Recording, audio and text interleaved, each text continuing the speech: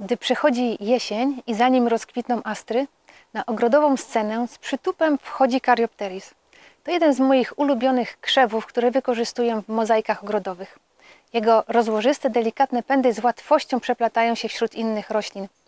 Wiosną i latem jest srebrzystym wypełnieniem rabat, a gdy rozkwita, jego posrebrzane łodygi pokrywają się niezliczoną liczbą żywo-niebieskich kwiatów. O tej porze roku, oprócz wrzosów i bluszczu, jest on jedną z najliczniej obleganych przez pszczoły i trzmiele roślin. W ogrodach wciąż rzadko widywany, być może dlatego, że czasami częściowo przemarza, ale wystarczy przyciąć go wiosną i będzie cieszył nasze oko do późnej jesieni.